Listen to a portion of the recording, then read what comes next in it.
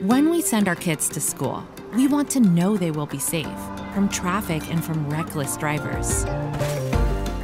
We keep our schools safe with school zone speed safety cameras. The automated system helps slow traffic as kids, parents, and faculty travel to and from school. Here's how it works. School zone speed safety cameras use radar and video based technology to capture vehicles exceeding the enforceable speed limit.